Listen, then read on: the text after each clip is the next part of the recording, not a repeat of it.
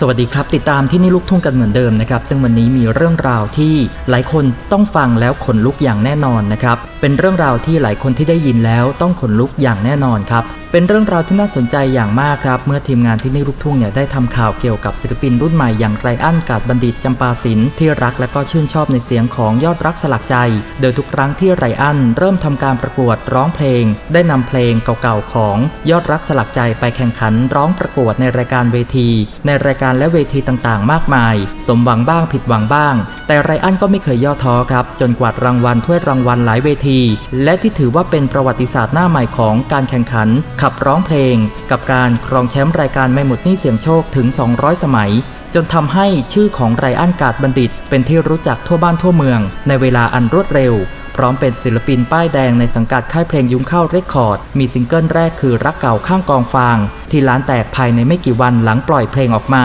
แถมยังติดชาร์ตมาแรงบน YouTube อีกด้วยครับ ในเวลาต่อมาก็ปล่อยซิงเกิลที่ 2 ชื่อเพลงว่าฉันรักเพลงลูกทุ่ง เพลงประกอบ รายการชิงช้าสวรรค์ที่ไรอันถ่ายทอดน้ำเสียงและอารมณ์เพลง ออกมาได้ดีเลยทีเดียว อีกทั้งยังล้านแตกภายในระยะเวลาสั้นๆ และติดเทรนด์มาแรงบน YouTube ด้วยเช่นเดียวกัน และมีสิ่งหนึ่งที่ไรอันกาดบัณฑิต มีความตรงกันเป๊ะ กับศิลปินชื่อดังระดับตำนานอย่างยอดรักสลักใจ นั่นก็คือราศีที่เกิดตรงกันเหมือนจับวางหรือตั้งใจให้เป็นแบบนั้น จนทำให้คนลุกอย่างมาก โดยยอดรักสลักใจเกิดวันที่ 6 กุมภาพันธ์ พศ 2499 ไรอันกาดบัณฑิตเกิดวันที่ 24 มกราคม 2546ซึ่งมีราศีมังกรทั้งคู่ โดยราศีมังกรเป็นราศีที่ 10 ตามตำราของโหราศาสตร์ตะวันตก อยู่ระหว่างราศีธนูกับราศีกุม มีสัญลักษณ์เป็นครึ่งแพะภูเขา ครึ่งปลา ช่วงวันที่ครอบคลุมของราศีมังกรนั้น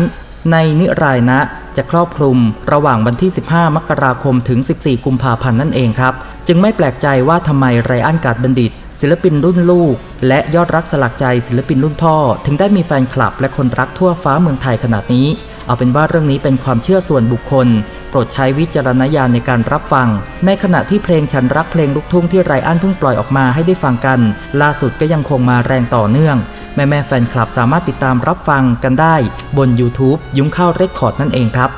อย่าลืมกดติดตามและกดกระดิ่งแจ้งเตือนให้กับที่นี่ลูกทุ่งด้วยนะครับ